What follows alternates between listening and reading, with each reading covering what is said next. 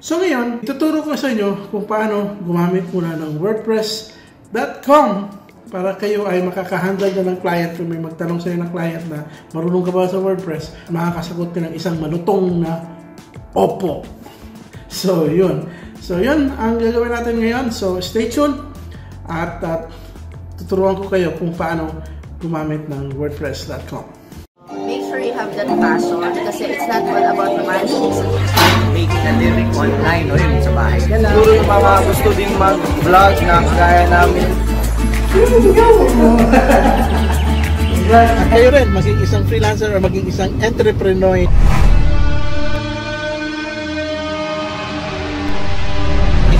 na rin.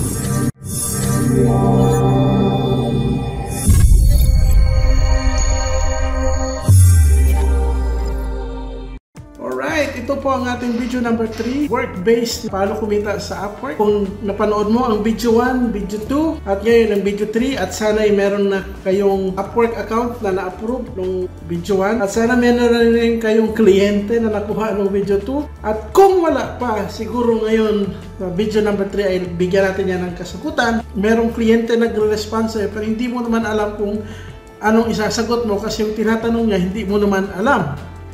So, yun ang problema. Gusto mo magtrabaho, marunong ka na kung paano makakuha agad ng kliyente para makapag-usap sa'yo. Ang problema, hindi mo naman alam yung pinapagawa niya. So, wag po kayong mag-alala. Dahil ngayon, bibigyan ko kayo ng isa sa pinaka-in-demand na trabaho sa internet. Kung gusto mo maging virtual assistant, gusto mo maging secretary or executive assistant ng mga employer dyan sa Upwork, bibigay ko sa inyo ang in-demand ito ay yung WordPress. Dalawang klase ang WordPress. WordPress.com at isa ang WordPress.org. Ang WordPress.com ito ay live web website na, free, uh, pero wala kang total control noong website. Yung WordPress.org naman, ito ay isang software na pwede mo i-download, ilagay mo sa iyong server para ikaw mismo yung may hawak, may control sa buong website. Sa video na ito, ang ituturo ko lang ay ang WordPress.com dahil to ay ang pinakamadali. Hindi ka naman ang magkocontrol ng buong website, ikaw lang ay gagamit ng website ng kliyente mo, pwede na sa WordPress na. Kung gusto mo ng sarili mo talagang website, ibibigay ko yung aking link sa isang tutorial ko pero nasa English nga lang siya. So magsishare lang ako ng isang link kung saan ikaw ay makakagawa ng libreng website na ikaw ang may total full control pero sa ngayon, paghawak lang or ang paggamit or pag-manage ng isang website, yun lang yung kailangan mong matutunan. So ngayon, para magawa yan at magkaroon tayo ng experience paano mag-manage ng website, kung merong client na magpapapost sa'yo, sabi niya, oh, ito ilagay mo sa website ko. Alam mo kung paano mag-post sa website? Ibang mga trabaho na pinapagawa bilang virtual assistant, yung iba simple na lang, madali lang matutunan tulad ng Excel, Word, karamihan sa atin marunong na yan paggamit ng Google Docs. Yung Google Docs naman, wala namang problema. Parang Microsoft Word lang siya, pero online. So ngayon, ituturo ko sa inyo kung paano gumamit muna ng WordPress.com. Ang una natin gawin ay pumunta lang tayo sa www.wordpress.com. So ito ay uh, isang libreng serbisyo, isang libreng blogging site, free to start, no? Dito sa wordpress.com, uh, you can start uh, libre lang, no? So, what you're gonna do, i-click get started. Lagay nyo lang yung email. Ang username. Entrepreneurs Online. Create your account. Alright, so what would you like to name your site? Ang website natin, ilagay ko Entrepreneurs Online. And then what will the site be about? Share ideas, And then, kung ano man inyong karanasan sa website, expert, beginner, so lagay natin kung first time nyo, lagay nyo beginner. Okay, so, give your site a name address. So, bibigyan natin ng address yung ating website. Ilagay ko, online entrepreneurs. Okay, so, onlineentrepreneurs.com, available. Ito, uh, kumukuha tayo ng uh, domain, no? May bayad ito. Pero kung uh, gusto niyo ng libre lang ito, no? May free option naman yun siya. So, practice mode lang naman tayo. Lagyan na natin ng free. Okay, start free. Best for student. So, awesome. meron na tayong WordPress. Okay, so kung nakikita ninyo, ito na yung ating web address. Uh, onlineentrepreneur.wordpress.com Kung gusto nyo makita yung website, click nyo itong view website. Ito yung magiging itsura niya pa sa ngayon. Nandito yung home, blog, contact.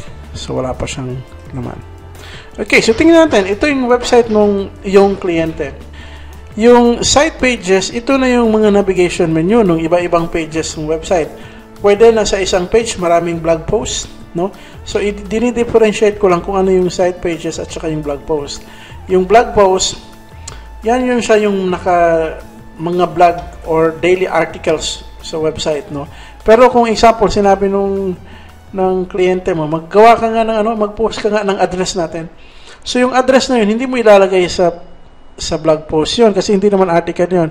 Yung address ng opisina is static lang man yun siya. So mostly, in, inanag-navigate mo lang yun, ilagay mo dito sa kanyang website na address. So, page yun siya. Example, maglagay tayo dito ng add, no? Site page lang yun siya. So, mag- mag-add ako ng page ngayon. Lagay ako ng add title. Lalagay ko yung aming address or location ng office. And then, dito, write a story, yung pinakalaman, pwede ka maglagay ng image, text, uh, or pictures, no? Or gallery. Philippines. Example lang, no? Um, ilalagay natin yung post. Tapos dito, makikita mo, dito makikita mo yung sa document, yung visibility niya, kung paano siya ipapublish immediately back or i-pending review mo muna na uh, pag sinave mo to, pinablish mo, eh, hindi pa siya magiging public kasi uh, pending pa no? Mag, meron pang magre-review. And then yung kanyang permalink yung kanyang magiging uh, URL yan na yun. Yung ng post. Yung feature image kung gusto mo lagyan ng feature image. Yung mga featured image ito yung magiging example isi-share mo to sa Facebook. May lumalabas ng mga image doon preview. Dito mo sinaset yun para pag i-share to yun yung makikita yung kanyang featured image. Then excerpt, ito yung makikita sa mga search engine or mga summary ng buong article. Um, yan, and then dito discussion, yung mga kung gusto mo ba magkaroon ng comments dyan, i-allow mo. Kung gusto mo mag-add ng another block dito, um, layout, columns, kung gusto mo maglagay ng 4 columns,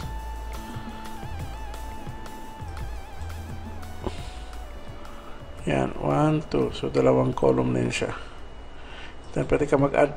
Sa, sa dalawang column, pwede ka mag-add ng another block kung gusto mo image pa siya dito. Tapos, dito rin, isa isang another block is paragraph. So, meron siyang paragraph dito. So, kung mag-image, pwede ka mag-upload ng image dito or pwede ka kumuha galing sa kanyang media library. Po lagay natin itong image, insert. Then start writing. Dito yung text.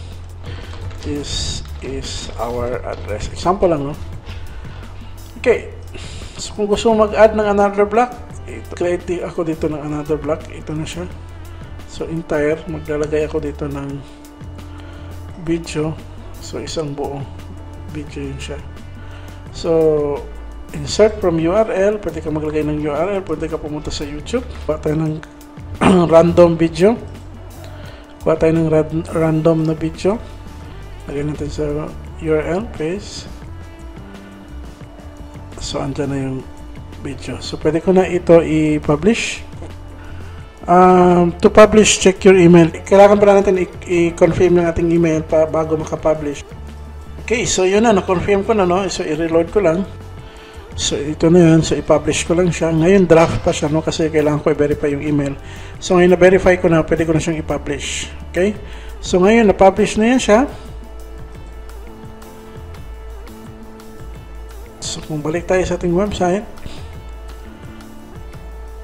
site pages, makikita mo andito na yung address, no? Pero kung titingnan natin yung website, wala pa rin, hindi mo pa rin makikita dito yung yung address na yun, no, page, kasi kailangan pa natin ilagay sa navigation.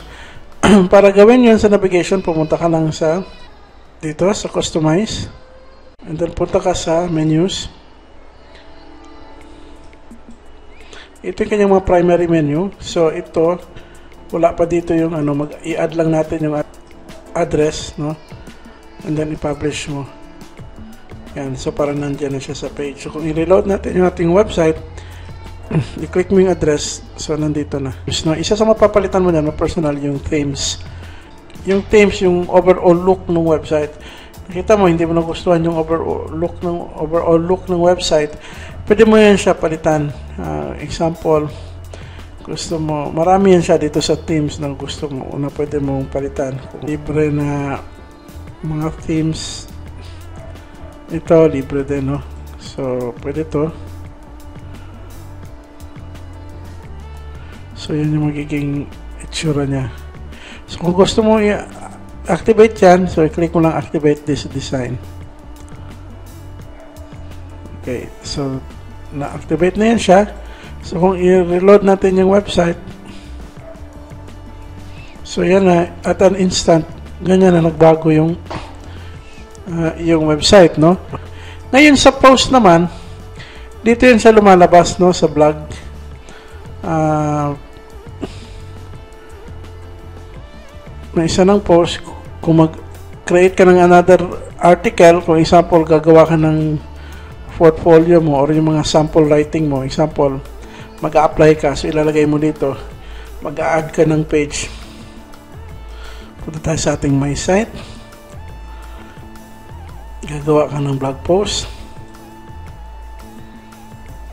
Gawa ka ng article. So, example, kung gawa ka ng mga sample logo mo or mga design, edi puro images ilalagay mo. Kung dito, may life story, gagawa ka ng article, so most likely, ang ilalagay mo dito is um, article, so mga text. So this is my life story. This is just a sample text for tutorial purposes. I-copy mo lang yan. Paste. I-paste ko lang, no? For the sake of, for, uh, for the sake of tutorial lang natin, i-copy and paste ko lang. Then i-publish. Post na to, hindi na to siya page, no? So, balik tayo dito sa ating website. Kanina, gumawa tayo ng address, which is sa page.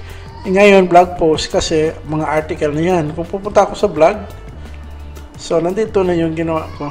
And then, dito yung next article. So, pag gumawa ka ng another article, dito yan makikita. So, ganun lang po. Um, ang ina-encourage ko sa inyo, i-familiarize nyo, i-master nyo tong WordPress, gumawa kayo ng sarili ninyong blog or gumawa kayo ng sarili ninyong website at i-familiarize nyo. Depende sa team, kasi ito, iba-ibang theme. Kung meron kayong ma-master ng isang team, theme, maganda. So, ito very basic, very uh, friendly for beginner. At depende sa team na hawak ninyo iba-iba yung dapat mong matutunan kasi depende sa anong team ang gamit mo. So basta ang basic lang dyan sa isang website ay meron siyang pages yung sa navigation na yun. Meron siyang blog post yung mga article. At meron siyang themes yung iba-ibang itsura, different look ng website, theme yun siya, yun lang dapat yung tandaan. And, yun. So,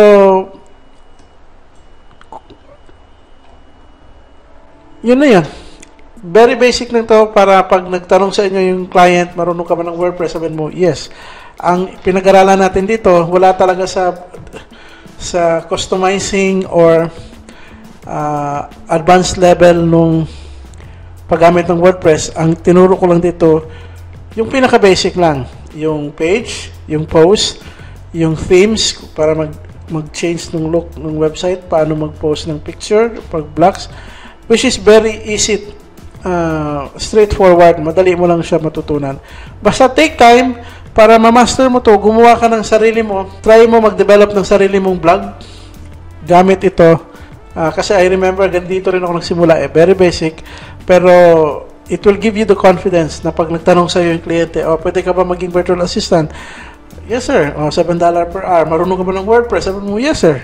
So, importante lang, ah, marunong ka mag-input ng mga picture, mag-research, gumawa ng article, ah, yun na, at least meron ka ng kakayahan. No? So siguro mga one or two days, gawin mo lang yung website mo para magkaroon ka ng confidence. Yun. Ang kita online is kung ikaw ay merong solusyon sa problema ng mga kliyente, doon ka kikita. Hindi yung ah, wala kang gagawin, kikita ka lang ng milyon. Hindi ho pwede yun. Kailangan ng sikap, ng tiyaga at ng kakayahan. Kailangan nakakatulong ka sa kliyente, meron kang kayang gawin para ikaw ay mababayaran. So magsumikap lang po. Kaya po natin yan. Mag-interact lang po tayo, magtanong po kayo kung meron kayong problema dahil ready po kaming tumulong sa inyong sitwasyon para madali kayo trabaho online. At abangan nyo po sa susunod na video. Sa tap yan po nagtatapos yung ating Upwork. I-improve nyo lang po. No, tiyak ako, ulit-ulitin nyo lang, magsumikap lang kayo na mag-apply at i-apply nyo lang yung strategy kung paano. So, so yun lang po, magbigay ako ng summary sa lahat ng video natin sa Upwork. Yung part 1, paano ka madaling ma-approve yung iyong Upwork account. Number 2, paano ka madaling ma-hire, paano tataas yung chances mo para ma- At ito, ang lesson number 3, konting kaalaman, no? basic WordPress, paano mag-post, paano gumawa ng website, para pwede ka maging virtual assistant. Magiging, ito yung maging first step mo. Basic lang ito, pero pag nagiging bihasa ka na rito, when you step to the next level, amay nyo, madali, mas, mada, mas mahirap pa yung mga ah, Mobile Legends dito. No? Um, so, yun po. Abangan ninyo sa susunod, no? Dahil dito nagtatapos yung ating series sa Upwork. Kung hindi nyo talaga feel yung Upwork, ayaw nyo, ayaw nyo kumita ng malaki gamit ng Upwork. So, move tayo sa isa, yung Fiverr. Baka ito gu- ma- magugustuhan ninyo. So, abangan lang po ninyo ang susunod na, na lesson which is Fiverr. And then, yung susunod, kung ayaw nyo ng work-based, punta tayo sa pangalawa, audience-based. Doon tayo papasok sa YouTube. Paano pa kikita sa YouTube. Ah, so, abangan nyo po sa videos. So, please stay active. Tulungan lang po natin yung ating mga kababayan. Ah, kung hindi pa ninyo na-share, mag-share, ah, pakishare na lang po itong video sa mga kaibigan ninyo na sa tingin ninyo kailangan din ng tulong para makapag-start ng kanyang ah, online business. Kung nagustuhan po ninyo yung video, click lang po ang like, ah, give it a thumbs up, and share because sharing is caring. So, yun lang po. Maraming salamat. At tayo na maging isang entre Pinoy. Bye-bye.